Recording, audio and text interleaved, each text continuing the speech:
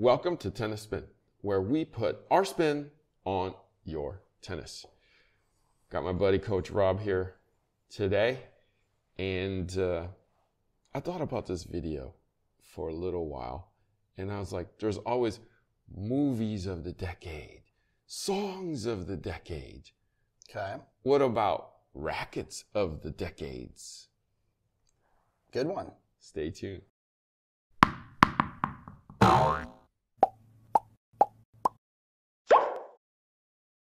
All right. So if you're of age, like our age, maybe a little older, maybe a little younger, you play tennis, you play tennis for maybe 40, 50 years, you kind of grew in generations and also with generations of rackets. And you've seen the evolution of rackets.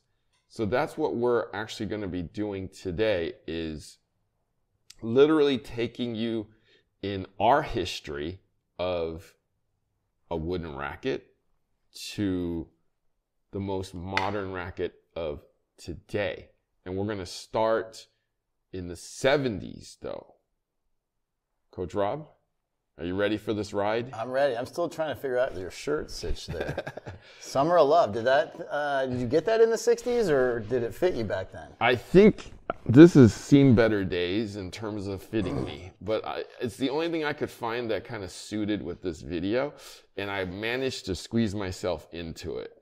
So as you can probably see, I was probably smaller back in in, the, in, in earlier days. Let's say. Weren't we all? so I think I was 50 pounds lighter when I had this shirt. Dang, 50. Anyways, Moving on. let- let's talk about rackets that are maybe close to 50 years old first. So we'll start with the 70s. Um, in the 70s, pro staff, Yep. Jack Kramer, Jack Kramer, the Jack Kramer pro staff, two different rackets. Um, both really good sticks.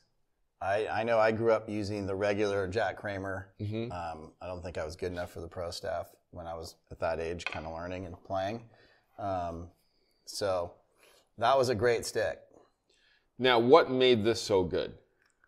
Um, well, back then, good players used it. So I, I was young, so I can't say exactly what they were shooting for, but I'm sure it was feel or weight or balance, or maybe the wood was a little bit different, or the way it was compressed, or I, you know, So it is laminated, I think, because it is shiny here. here. is shiny. Yeah. Um, it isn't like a square square. It isn't like a straight through. It's slightly round here, which I'm guessing makes it flexible.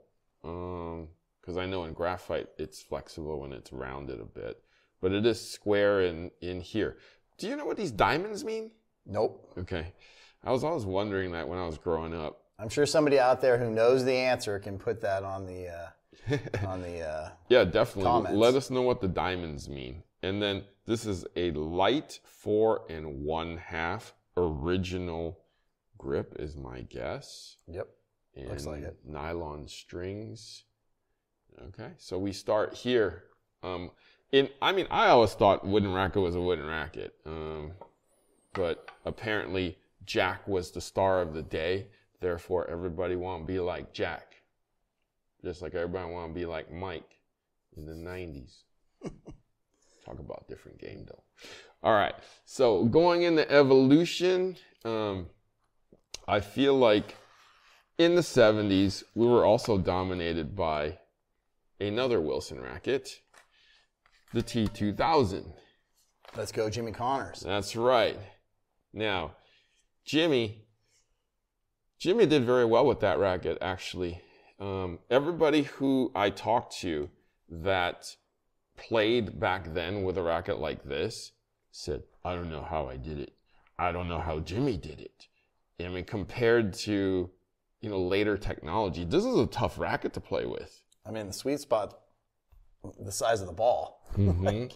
and it was like heavy, hmm right? I can feel it right now. It's steel or aluminum, but I think it's steel.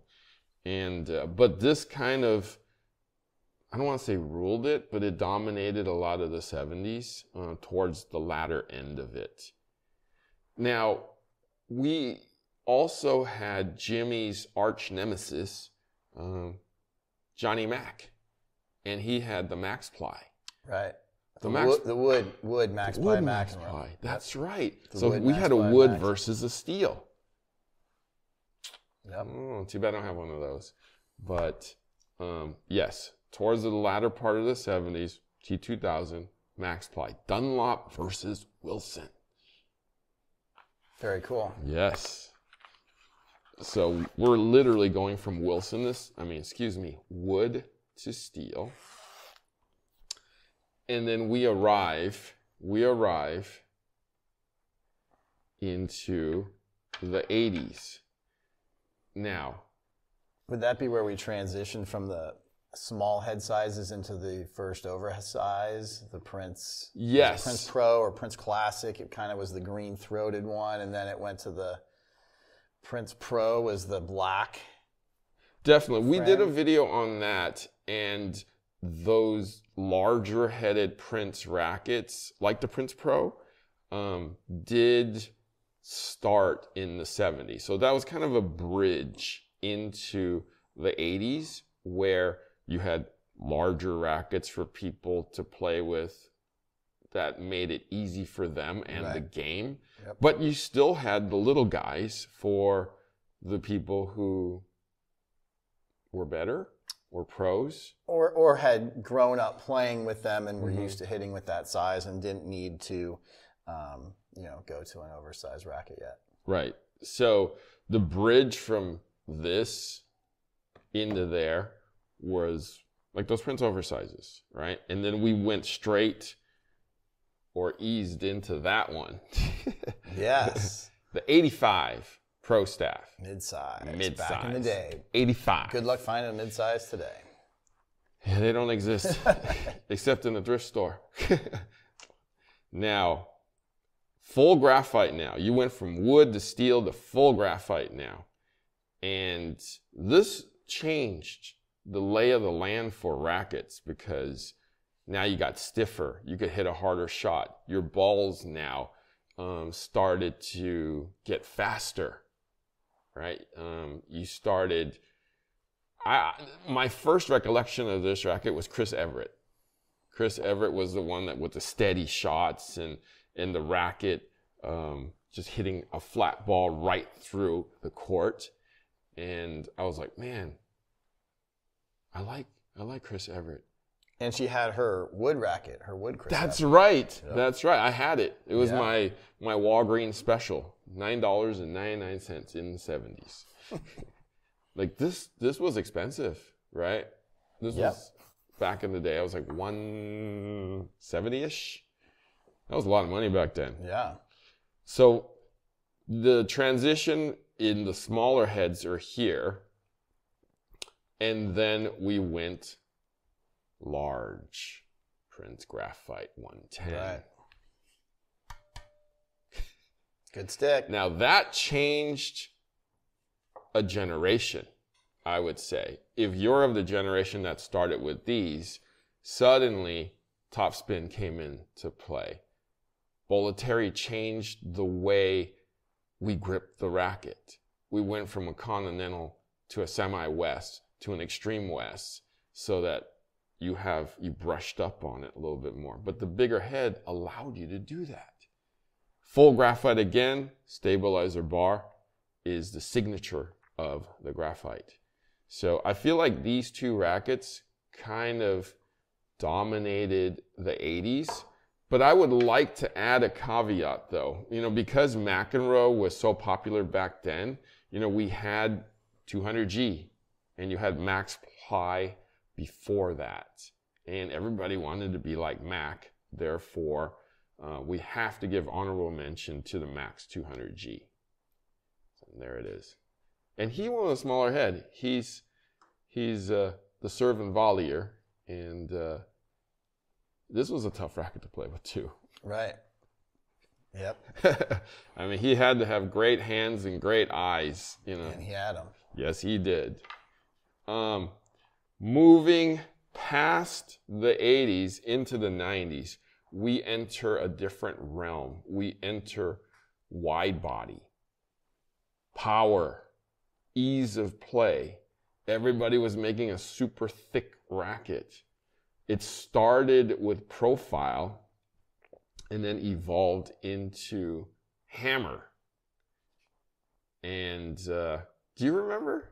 The first profile was kind of that goldish looking one. Mhm. I think we did a video on one of those back in the day. Right. But yeah, Yeah. The, this was the goldish one. I don't know. It kind of faded into uh, a little grayish for some reason, but I think when this was brand new, it was more um, silverish, silverish gold. Okay. Yeah, I think I think this faded. Eh, Yeah. I don't think so. You don't but think so? maybe. Maybe my eyes are It could be my eyes too. now. But I thought it was silver. There was a gold. It was more gold, if I remember. Then it kind of had like um, the purplish writing where it said profile on the side. That's a 4.0. This is a 2.7. Right. Okay. Yeah, yeah, Yeah. yeah, yeah, yeah. So this was the the beast, Okay. the the the most powerful of the Wilsons at a 2.7 SI. Look at that. Goodwill special. Three ninety nine. Three dollars and ninety nine cents. yep, got it at Goodwill, guys. Um, and somebody left the demo sticker on it still. Oops. But check this out. Um, wide body, they tapered it at the top. It was head heavy. So stabilized here, made it heavy here, so that when the ball impacts here, it's very stable here, but you get a little bit of a flex here, and that was about it. So you get a little racket speed with the thinner top and the head heaviness. Do you remember why they made hammer rackets? Uh, more power. Yes. The balance. Yes. Trying to give it, you know, the weight was all like a hammer. Mm-hmm. You know, you could. It was super light this way, and Right. And but it felt Right. much heavier going this way. So I think that was part of their, you know, trying to create that hammer sensation. Do you remember, according to Wilson, they made these rackets head heavy because all you had to do was bring the racket back and just throw the head at it, at it, and it would just take over. So it made the game easier to play. It made anybody out there With a short swing. a decent tennis player, even with a long swing. I mean, it, it kind of stabilized it for you, and as long as you you swung it through the hitting zone, the racket would kind of take over and finish for you. So that was the age of wide bodies in the uh, in the 90s. But we went from being overpowered to smelling. Skunk. well, I think it was a little bit also of players that used mid-sized rackets. Mm-hmm. You know, weren't were younger, potentially looking to continue their mid-size um, evolution. And then the skunk was phenomenal. This was a great stick. I know we sold a lot of these. Had lots of good juniors playing with them, and um, yeah, it was good. I remember the also that purple and black 5 two was a really Mm-hmm. Right. good one too as well. Um, and then over there, the great Pro Staff Classic six Let's one. let's not jump ahead. Let's not jump ahead. Ah, because okay, I can wait. Because just like you, everybody in the whole world sold a ton of these because this was a racket of that generation. Whether you were 12 or 18 or somebody getting into tennis, like this was the racket you got. Most of the time, you got the 95. Uh, there was a 110 made. Yep. Um, I would say it was 85% 95 and 15% 110. Right. Yeah, the the one ten people usually were looking for something maybe a little bit stiffer, if I remember right. Easier to play with too. Yeah. Yeah. But if you were uh, in your 30s, maybe in your early 40s, this was probably your racket. when you were in high school. And I'll bet you there's one of these lying around in your garage somewhere. But yeah, this defined the 2000s. And it told you even where the sweet spot was. Yeah, a little higher. Exactly. because of what? Hammer technology. Right. Move the sweet spot further up the racket. Right. And they made it controllable.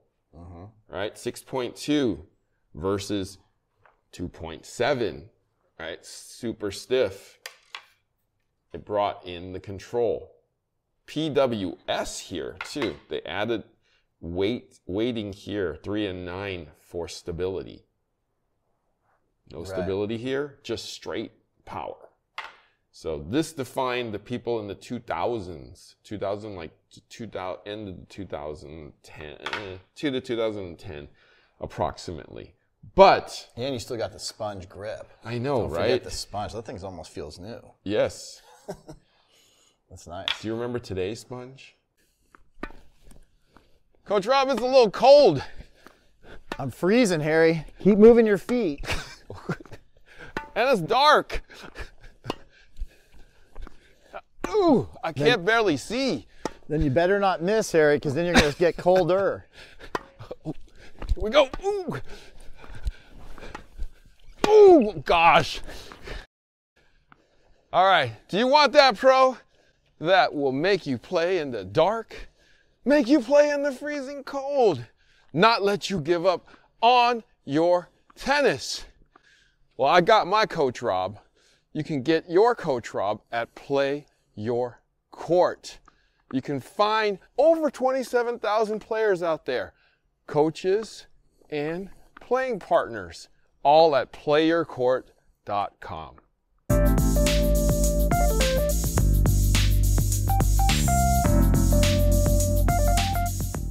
All right, so going back to uh, whatever this thing is. This is the Wilson Pro Staff Classic 6.1. so I have a question about this racket that Yes. have always bugged me Okay. from the inception of this racket. Okay. The first day I laid eyes on it, Right. in I would say the 90s. Four and five mm. eighths grip. Yes. Now, why did they call it it classic? Because it was the first. It, it just came out, and they were already calling it Well, I think they were trying to take the classic feel, oh, right? So from you have Pro Staff, right? You have the old, um, or the newer compared to the wood. You have this Pro Staff. Mm-hmm. So I think they were trying to create um, that feel of the classic weight and balance and um, feel of these older rackets in a little bit larger head size. right. Okay, I get So I think that was the idea was how to take what everybody liked in these and these Mm-hmm. and give it a little bit bigger head size and maybe a little bit more. I'm guessing this had a little more power than the smaller oh yeah, one. But 95 Yeah. versus 85. Um, now, what did you like so much about this racket? ah, the weight, the balance, the feel, the touch. Um, it, it once you got it going, it took off and followed through for Mm-hmm, you, and it had um, you know a bigger sweet spot than these older ones. So if um, I may have mishit the ball, I had a little bigger sweet spot. It was a little more forgiving, Mm-hmm, but it, it was just a great racket. And, and I think it was at that age I was playing a lot, I was competing, so it was at that right time where um, you know you have a lot of good memories with the racket. Right. So I remember these being introduced in the 90s, um, and it immediately became like a top seller. Right. It has the what's it, a graphite uh, Kevlar on Yep, there. yep. Probably made it a little bit stiffer. Yep, totally. But literally everybody was using this racket. Everybody. Yep. Even people who really shouldn't use this racket were using this racket. Right.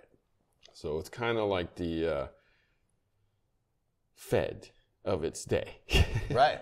Yep. Probably the heaviest racket back then too, if I don't, if I'm not mistaken. But 80% graphite, 20% Kevlar, as it says right there.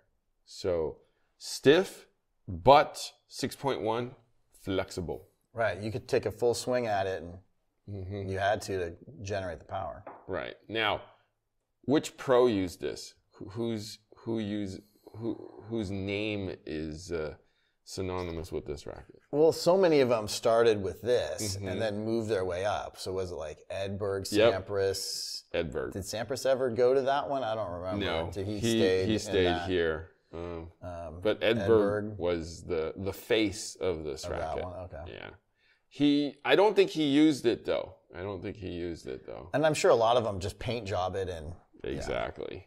Exactly. Um, so rackets of a of that generation.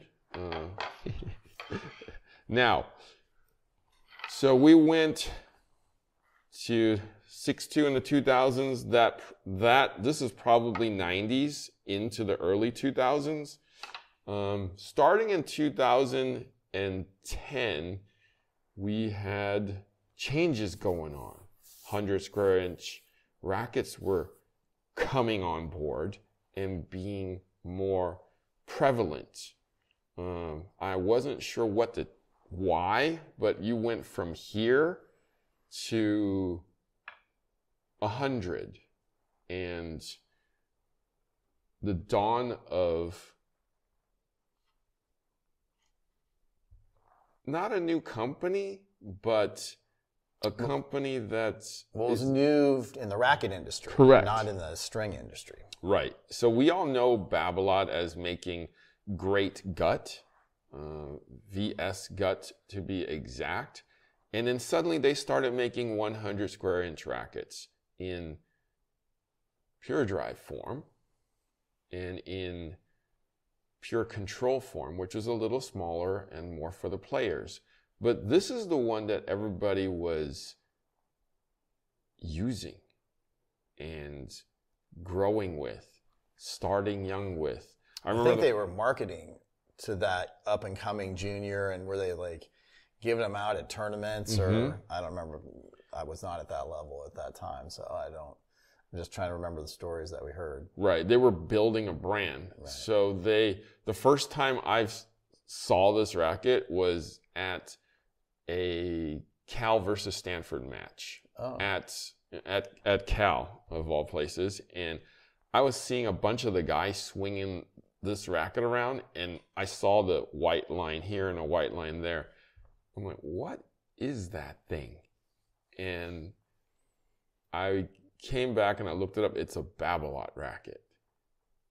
And the weird thing was, um, back then it was hard to look up. Right, there was no There was no phone, no internet. right, right. I forgot how I even found Yeah, out. you, how'd you looked it up? What did you use? Encyclopedia. Yeah, right. Tennis magazine, probably. That's what we all had. Right. Tennis magazines. We were, every time you came, got one, you're like, all right, let's see what's out there. And True, true, Um, true, true. And now when when this started coming out, people were asking for it just because they got into those tournaments, start sponsoring kids, sponsoring um, college kids, sponsoring college teams, and just kind of bringing the brand forward right. and then people started calling like where can i get a babolat and i was like what is a babolat racket you know so uh, that's how it kind of grew Right. and then by 2010 everybody knew what this was and it was already you know at the top of the sales in terms of you know national sales Who do you think the first guy on tour was who we really recognized using it? So th- the thing that pops into my mind is Andy Roddick, but that's not that's not right. Um, That's what I think of when I think of that racket. Yeah. But that's why I'm like, there probably was somebody before that who we, there was, but I forget his name. I don't know who it was. yeah, like a Gonzalez or a not Verdasco, but somebody like that. That was the face of it, and there was a woman too that I it escapes my mind right now. That, Someone will tell us in the comments. Yeah, yeah, definitely. That let us know. I mean, I I was reading about it and I remember it when I needed to, but it uh, there was somebody before Roddick. Roddick was the one that put it on the map, though. Um, Right. So, and then Clijsters, I remember used a version of it too. Mm-hmm. Uh, and then fast forward to today, there's no real name on it anymore, though, right? It's just known as being. Um, Right. Well, good as it is involved, now there's a Pure Strike. Mhm. Was Dominic Thiem using that? right. Um, But it's kind of obviously, gotten off Babolat's of, gone into the Pure era with the Right. Rafas and all that stuff. So right. But it, this particular racket has kind of gotten off of tour though, like tour level, into weekend warrior status, and that's kind of you know why it's still so popular because everybody's using it uh, for its all-around effectiveness on the court. So, but that's the one that ruled, and it started with that one. Remember the the first one was the Roddick Plus version, half inch longer, and then Really? 11 ounces. Yeah, the one that had Don't remember Roddick's signature on it. So it was half inch longer, 11 ounces before strings. wow, did not know that. Yep. And when Roddick came off, that racket started, and then the Mm. regular version, 10.6, which is, you know, prevalent today, is the one that kind of took over in sales. I think they actually discontinued that Roddick Plus, which changed names into Tour Plus eventually. Mm. But that's now gone since Roddick is gone. Um, so unless, that unless you're watching the tennis channel. that's that's true. Look at some Good history. commentator. Yeah, definitely. now, that into the 2010s, um, as we reach the 2020s, we're only like three years into the 2020s, maybe a little more. And uh, what do you think? I mean, if if Rob is pointing at something, that means it's Flash time. Oh wait, let, let's backtrack for one second. Like one, sorry guys. Um, before this hit the heights, there was one racket that uh, that was up there, and I I don't have one though. Um, do you remember the? Do you remember Sharapova? Um, I, she's hard to forget. so yes, I do remember Maria Sharapova. she used that Prince O3 white, and that ruled and dominated for, I want to say, for almost five ish years. Um, they, That tr- yeah, Okay. yeah, yeah, yeah. I remember the, that Prince. There was a bunch of them. There was a black, a white. There was Mhm. it had the um, strange string pattern With the big holes. holes that was Yep. not fun to string. Right. Um, Yeah, they they ruled for four to five years, and then uh, uh, when they switched that racket to the exoskeleton, I'm not sure what happened, and the the sales started to drop, and then kind of Pure Drive kind of took over the the top spot. So honorable mention to uh, Prince O3 White. Okay, now we can fast forward to the 2020s. Oh, the Clash. Let's go.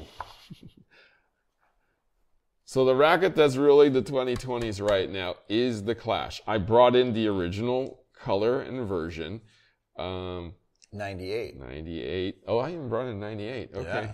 Yeah. And uh, what was it about this racket that made it so special and and dominated so far the 2020s? Well, I think Wilson took tried to go back and just start over and try to find what feel is. Like everybody goes, oh, I want a racket that feels good. Well, how do you explain or how do you describe feel?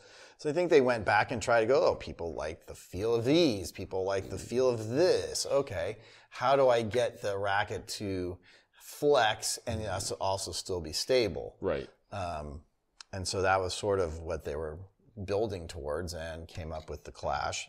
More times it was the 100 than, than the 98 right here. But, um, you know, and then you had the, the Clash Pro, which is a little heavier one. Um, and then, yeah, what, I think there's what, a Clash 108? 108, right? Right. And then a light. And then, And I think there's an ultra light too that I never I've never sold very many of. right, But yeah, there was a whole Clash line. correct. Uh, for those of you who don't know what Clash is, it's extremely unique. It's got an extremely low flex rating. So, unlike any of these rackets where it's a firmer racket, which gives you the power, the stiffness, the stability, this is different. It's soft. When you hit it, it bends and it bends a lot. But at some point, it stops, firms up, and then shoots the ball out. If you want it to be firm, you swing faster, you swing harder, the ball won't dwell on the string bed so long because of your swing. If you want it to be um, softer and you want to do a touch shot or a drop volley, then you kind of lay off of it and just feather it a little bit. It will just bend and give you a softer feel and a lot more flex. So the one complaint that I always get about this racket, and people say this, is I can't hit a volley with it. Yeah, we've talked about that. I think we did a video on that. Right, right. So the way to hit a volley with a clash is the way you would hit a volley with this wooden racket. You Watch the ball. Watch that too. You can't just stick your racket out, expect the ball to like take off. You have to kind of complete your stroke from start to finish. Um, and so it brings us back to earlier days and fundamentals. Uh, but everybody else, I would say 80% of the people understand this racket. Like they know exactly what to do. And those of those are the people those people who don't know, all I have to do is say just swing. And when I say just swing, they understand that. Because when they do, they understand. Ball goes in. When you lay off of it, it takes off. Yep. And then they had even came up with some smart string Yes. to try to uh, Luxilon tried to put a string in there that would, uh, like you said, Match the racket. right. hmm So they suggested you use this smart string, which was like a copoly um, that did exactly what the racket did. Swing hard, firms up. Swing soft, softens up. Um, unfortunately, that racket is, excuse me, that string is no longer around. Um, I did well with it, but I guess nobody else did. Uh, but it, it matched it very well. 48 pounds on any of the models with the smart string 125 if you don't break strings was the way to go but you know it is what it is the racket survives and the string doesn't Uh, but that is currently the racket of the 2020s coach rob how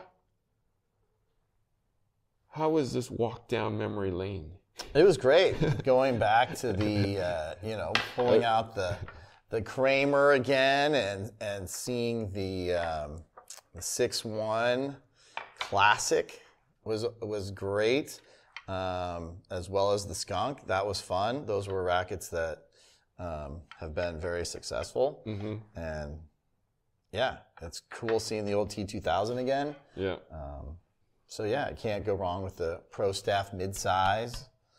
You know, I, I know it's a it's a lot of Wilson. yes, it is.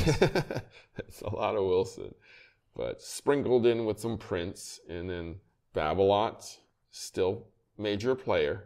So, all right, guys, um, 70s to today, the rackets that dominated the decades. Coach Rob, thank you so much Sure. for the walk down memory lane. Happy to do it. All right. Guys, thank you for watching Tennis Spin, where we put our spin on your tennis.